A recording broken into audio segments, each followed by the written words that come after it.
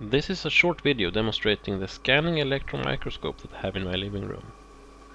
It's a JEOL JSM T200 from the beginning of the 1980s, making it more than 30 years old.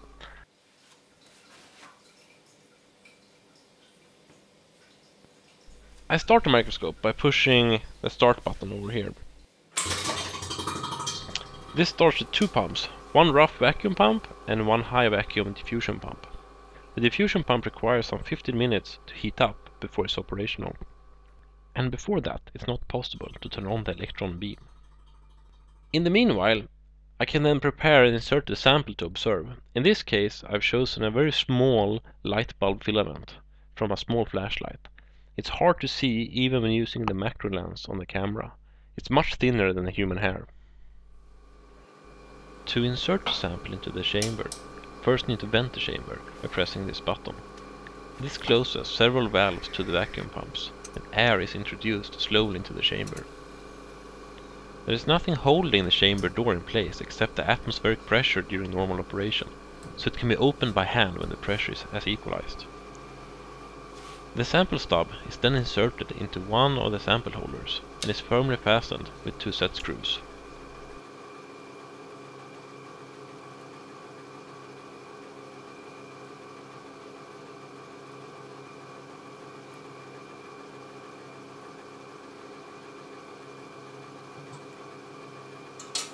This sample holder allows for both rotation and tilt, in addition to just being moved in the X and Y direction, as I'm showing here.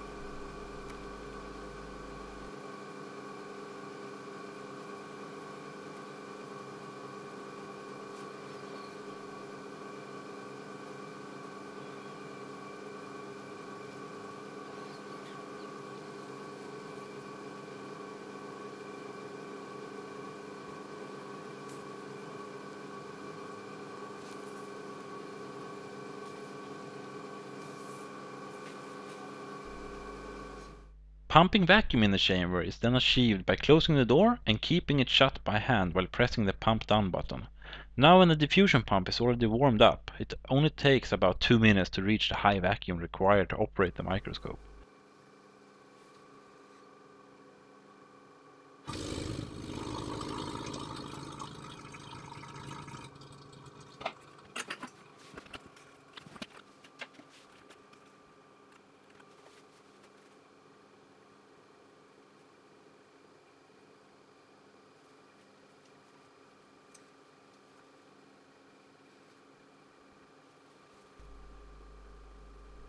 The microscope is ready when the magnification display lights up, in this case showing 35 times magnification, which is the lowest setting at this working distance.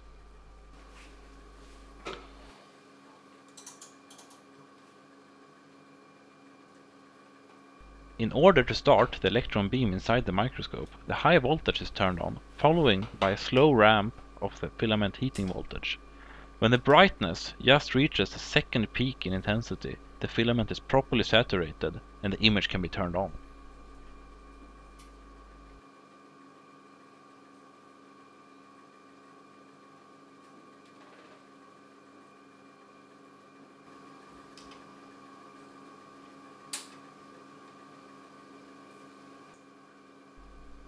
Now the spiral-shaped filament is clearly seen and the magnification can easily be turned up to a few thousand times with just small adjustments to the focus, brightness and contrast.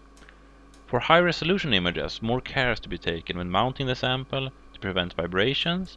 One also needs to optimize the optics in the microscope by correcting for astigmatism in the lenses.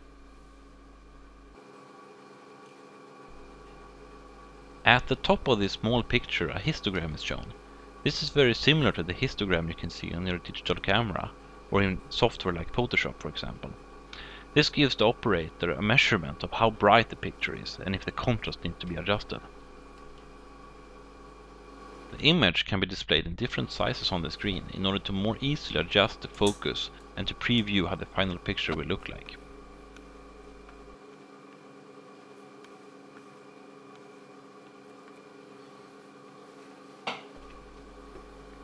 In order to save this high quality image, the sample is scanned over a much longer period of time, around 1 to 2 minutes.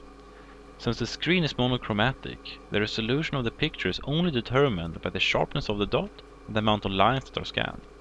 So traditionally, images were captured by using a long shutter time Polaroid camera aimed at the screen.